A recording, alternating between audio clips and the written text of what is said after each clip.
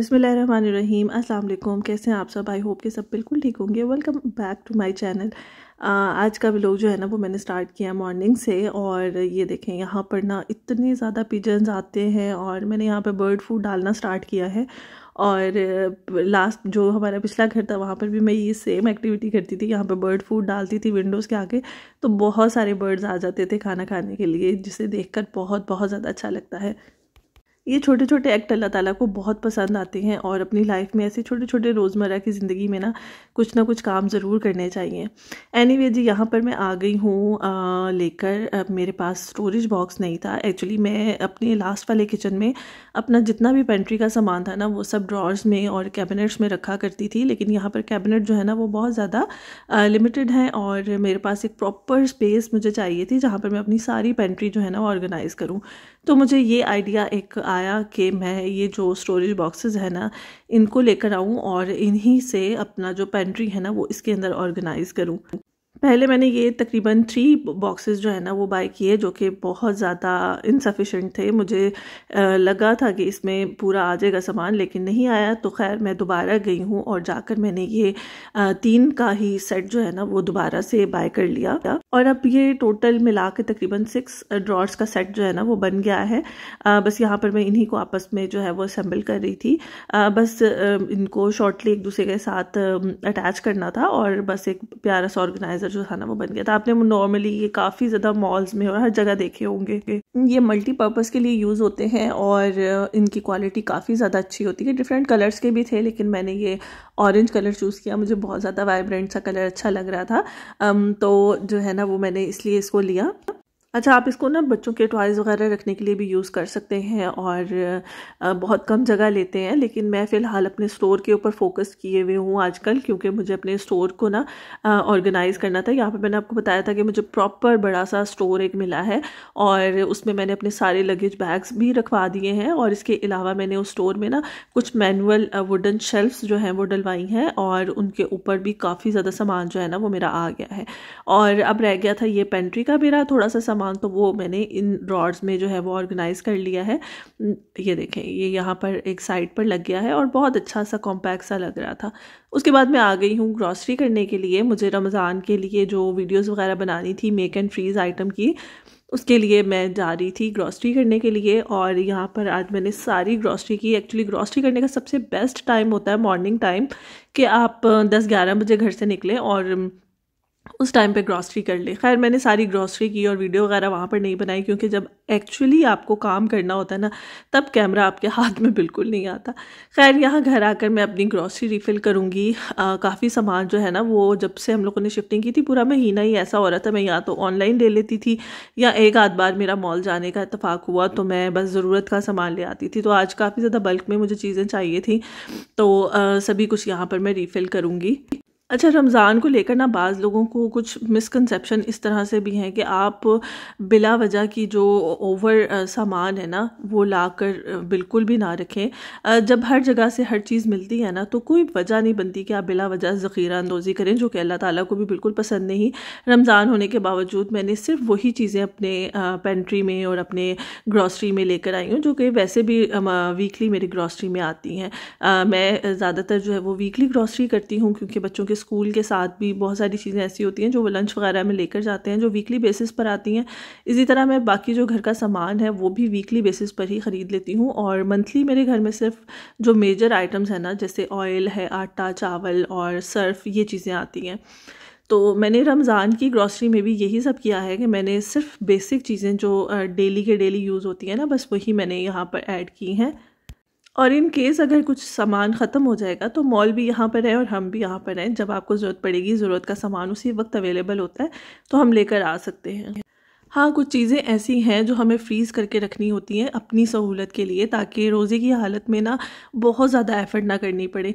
Effort तो हमें ही करनी होती है, लेकिन अगर वो एफ़र्ट आप अपना पहले कर लेना तो रोज़े की हालत में आपको ज़्यादा काम नहीं करना पड़ता। जैसे कि मैं अपने लिए अगर ये बात सोचूँ ना कि मुझे रोज़े के साथ बच्चों को पिक एंड ड्रॉप भी देनी है, घर का काम भी करना है और इसके अलावा जो है वो खाना बनाना है, अफ्तारी भी है।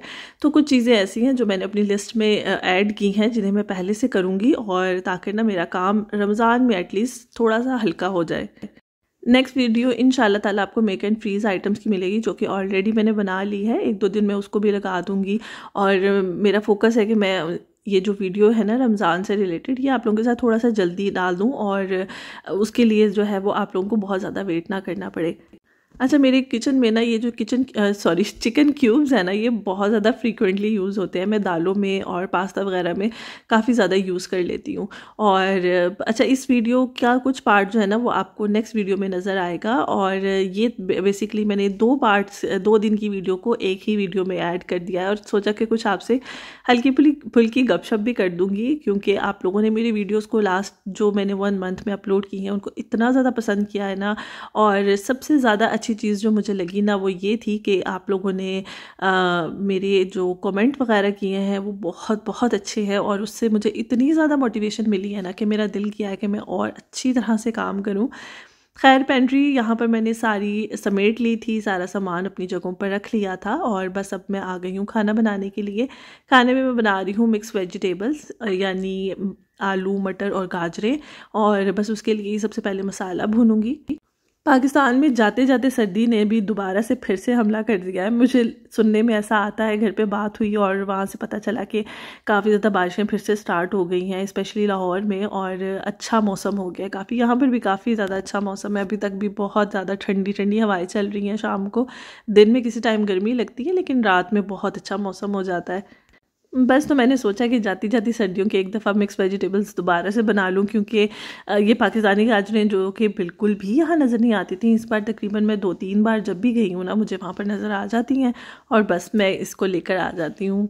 खैर, मसाला भून रही हूँ। यहाँ पर मैंने प्याज़ों को हल्का सा सौते किया, उसमें टमाटर डाले हैं और उसके बाद उसमें सारे ड्राई स्पाइसेस ऐड कर दिए हैं। नमक, मिर्च और चिली फ्लेक्स डाले हैं, धनिया पाउडर ज़ीरा पाउडर डाला है और हल्दी डाल दी है। अच्छा से मिक्स करूँगी और जैसे ही ऑयल सेपरेट होगा तो मैं इसमें अपनी जो गाजरें हैं वो ऐड कर दूँगी। मेरा ख्याल है कि अब तक हर घर में रमज़ान की जो थोड़ी थोड़ी सी प्रेप है ना, वो स्टार्ट हो गई होगी। कहीं पर जो है वो ग्रॉसरी स्टार्ट हो गई होंगी और कहीं पर रोल समोसे बनना स्टार्ट हो गए होंगे। लेकिन मैंने इस बार थोड़ा सा चेंज किया है।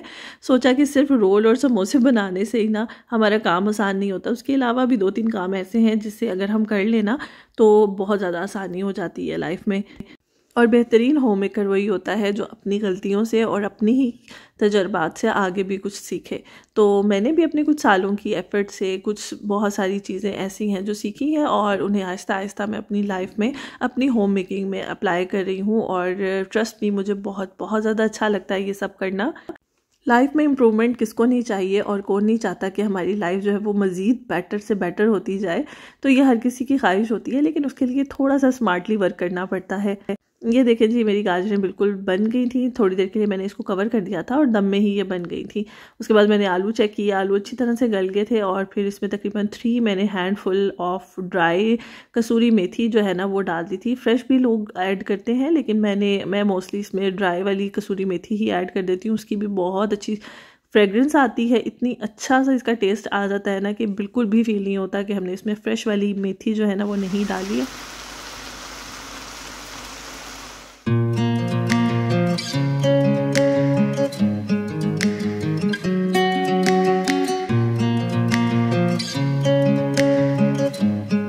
उसके बाद मैं आ गई हूँ बच्चों को स्कूल से लेने के लिए, जो कि मेरा सबसे ज़्यादा दिन का अहम तरीन काम होता है।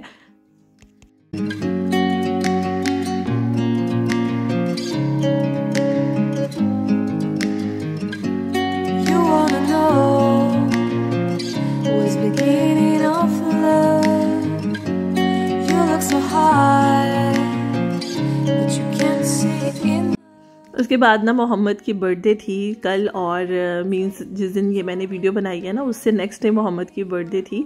और मैं उसके लिए लेकर आई थी ये सब गुडी बैग्स जो कि उसको स्कूल लेकर जाने थे। मोस्टली मैं ऐसा करती हूँ कि चॉकलेट्स बिस्किट्स और जूस वगैरह बना देती हूँ, लेकिन इस बार हमने सोचा कि थोड़ा सा डिफरेंट करते हैं।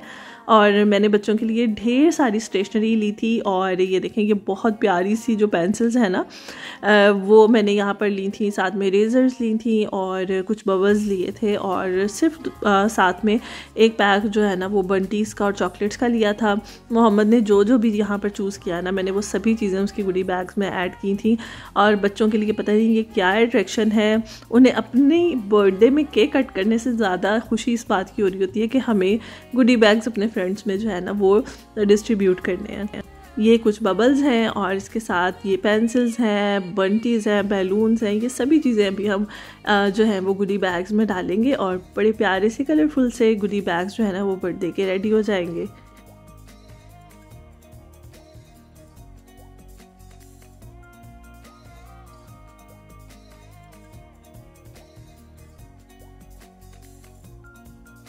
मोहम्मद की खुशी से आप अंदाज़ा लगा सकते हैं कि वो कितना ज़्यादा खुश है, इतना ज़्यादा एक्साइटेड था गुडी बैग्स बनाने के लिए और पूरा टाइम उसने मेरे साथ बैठ के तो ये बनाए हैं और हर चीज़ प्रॉपर हर इन्वेलप में जो है ना वो उसने डाली थी।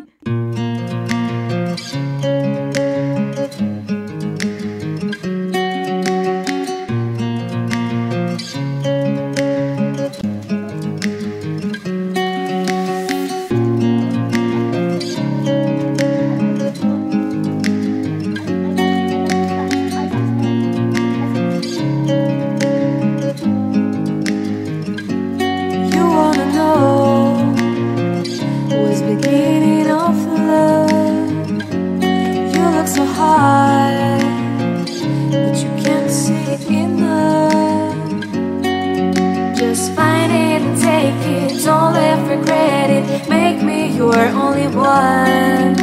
You choose it, don't lose it, don't let confuse it. Only then you begun Feel like, feel like, feel like that. Feel like,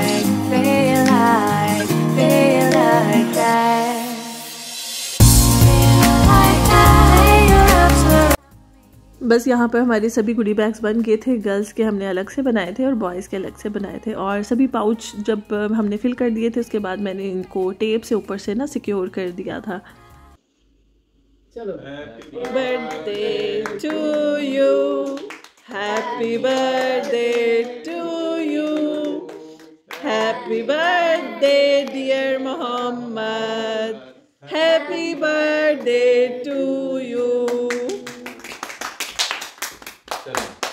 यहाँ मोहम्मद के बाबा उसके लिए सरप्राइजली ऑफ़िस से वापसी पे केक ले आए थे, जो कि हमने उसी वक्त उसके लिए कट कर लिया था।